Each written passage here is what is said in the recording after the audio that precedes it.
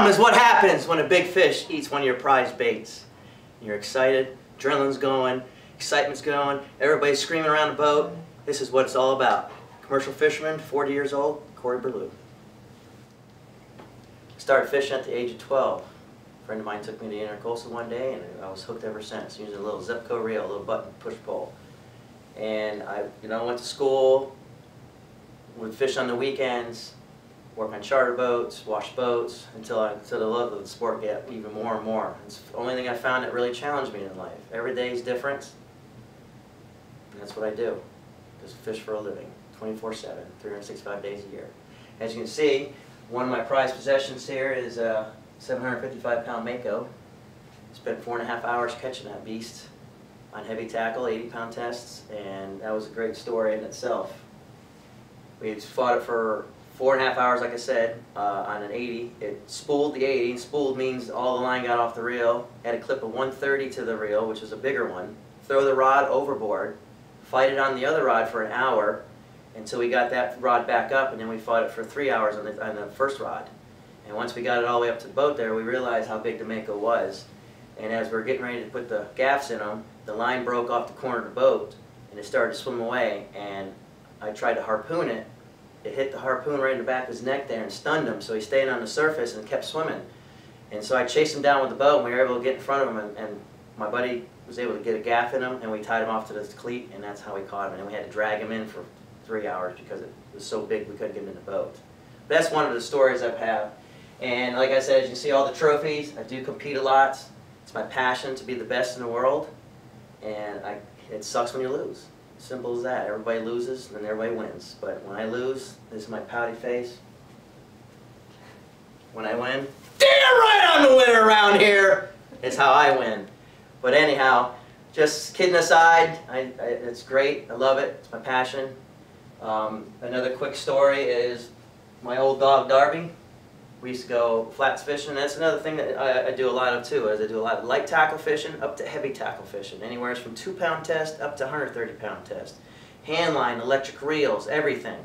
Kite fishing, bottom fishing, shark fishing, just you name it, I've done it, and I love competing and all that kind of stuff. But back to the story with my old dog, Darby. We used to fish on the flats over in the Bahamas for bonefish, and he was very good at fishing with me. He'd walk, and you have to be real quiet, stealthy for the bonefish and you would cast, try to lead the bonefish up and hook the bonefish, and at the same time he would sit there and wait. And as soon as I'd hook the bonefish up, he would run out there while I'm fighting and, and corral him in onto the beach.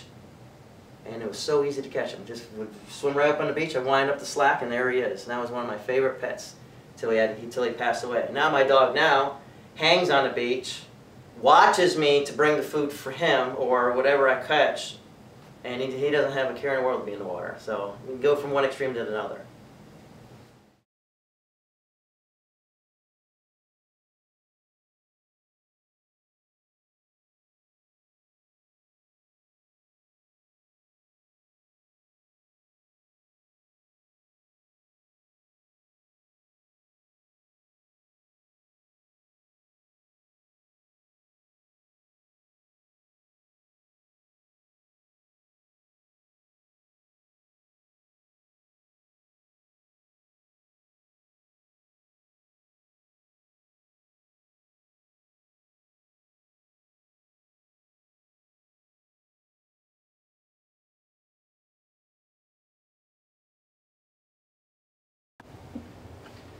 As you can see all the rods I use, I adapt to all kinds of fishing, whether it's bottom fishing, trolling, drifting, casting, jigging, you name it, I can do it. Hopefully pretty good, I think.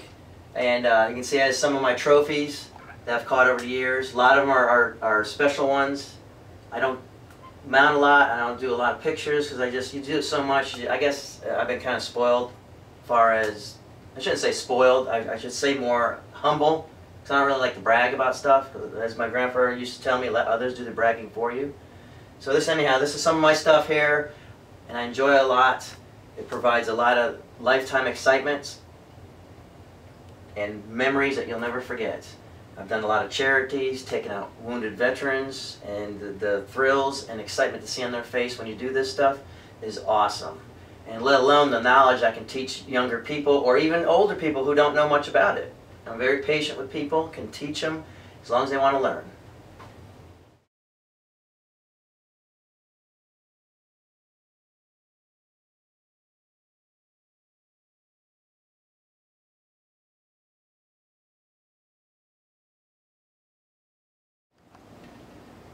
Here's some more trophies. Again, very competitive. I do very well. Place.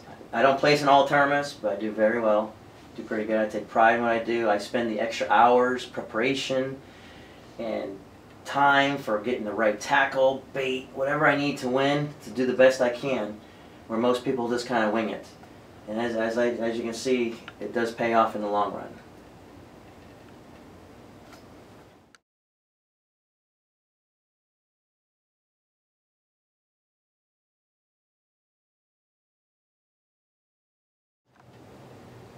And as you can see, I'm a thrill seeker. Not only do I fish for a living, but I used to be a nuisance alligator trapper for three years. And we would go out and catch nuisance alligators in communities ranging from 4 feet to 12 feet. And here's one of my catches here is a seven and a half footer that got mounted, nice head mount. And the one up here you can see is a skull mount is right around 12 feet. But we use rod and reel, believe it or not, with a weighted treble hook, and that's how we'd catch them. It's almost like sight casting for bonefish. You'd see them, and you cast them, and you hook up onto them. You got to be an excellent caster, of course. You fight them just like they fight like sharks, and they're very, very aggressive. But one of the stories I can tell you, the first time I've ever done this on my own, is I caught two alligators one day, and it was like an eight footer, and a matter of fact, this seven and a half footer, and it was one of those hot summer days, going down 441 heading down to the pen where we where we drop them off, and one of them jumped out of the back of the truck, and I had to jump out out of the truck to go grab this alligator, and my hands were wet. It was hot and sweaty, so I went to grab his head because they're all taped up around here, to keep their mouths shut. I grabbed his head, and the tape slipped off, and I went to reach back really quick, and of course he bit me. My whole arm was in like this.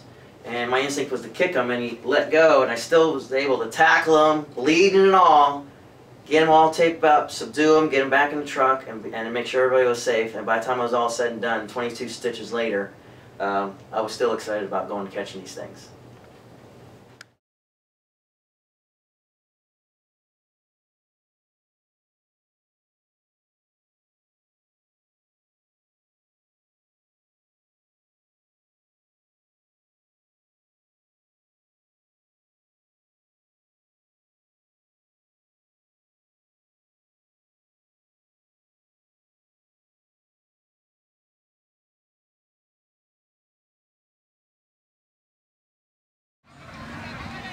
Here's where it all started, here behind me. Started at age of 12, a lot of memories, a lot of good fish, a lot of excitement. And not bad for an office view, especially that's on the beach.